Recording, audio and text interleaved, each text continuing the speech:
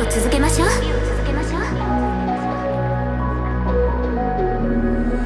私は国政リーユエ七世の幽変よ。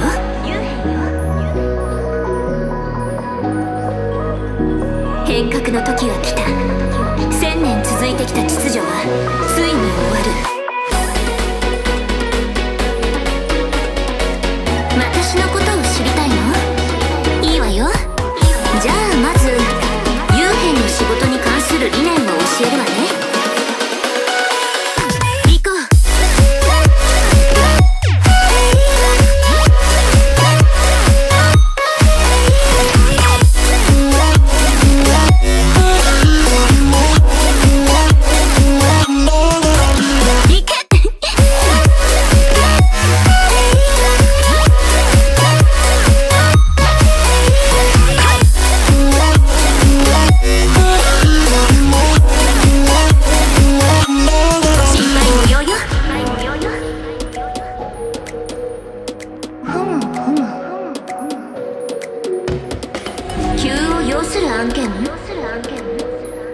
夜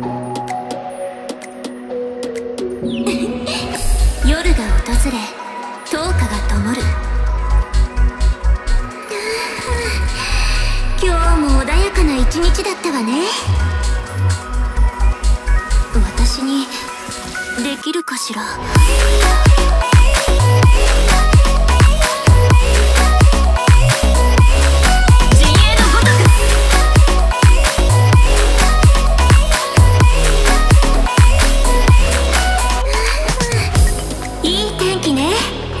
仕事も一段落したし買い物にでも行こうかしら。デザインも生地も商品の種類も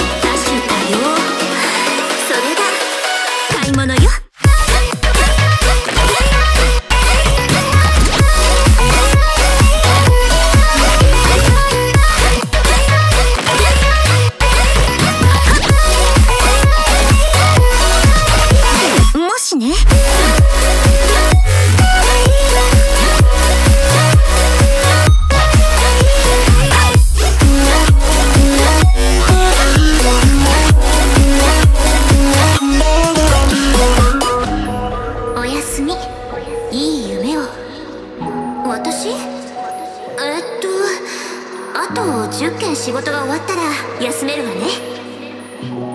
私のそばにいてくれるかな？